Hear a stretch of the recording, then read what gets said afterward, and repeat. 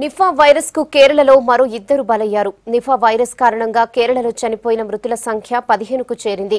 కోజికోట్కు చెందిన యాభై ఐదేళ్ళ మధుసూదన్ అనే వ్యక్తితో పాటు ఓ జవాన్ ఈ వైరస్ కారణంగా చనిపోయారని కేరళ హెల్త్ డిపార్ట్మెంట్ ప్రకటించింది.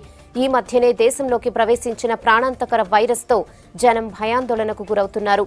ఒక్క కేరళలోనే ఇప్పటిదాకా పదిహేను మంది చనిపోయారు. నేషనల్ ఇన్స్టిట్యూట్ ఆఫ్ వైరాలజీ లెక్కల ప్రకారం దేశవ్యాప్తంగా నిఫా వైరస్ కారణంగా చనిపోయిన వారి సంఖ్య పద్దెనిమిది. మరో ఇరవై ఐదు మందికి పైగా ఐసీయూ అబ్జర్వేషన్లో ఉన్నారని ప్రకటించింది. నిఫా వైరస్ సోకిన వాళ్ళు ఇరవై నాలుగు గంటల నుంచి నలభై ఎనిమిది గంటల్లోపు కోమాలోకి వెళ్ళిపోతారంటున్నారు వైద్య నిపుణులు.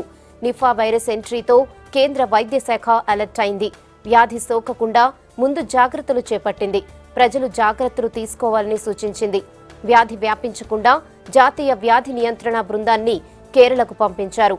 వైరస్ను గుర్తించే పరికరాలను కేరళకు అందజేశారు. దాదాపు అన్ని రాష్ట్రాలను అలర్ట్ చేసింది కేంద్రం. ప్రతి రాష్ట్రానికి వ్యాధి నిర్ధారణ కిట్స్ను సప్లై చేసింది. అయితే నిఫా వైరస్కు ఇంకా మందు కనిపెట్టలేదు.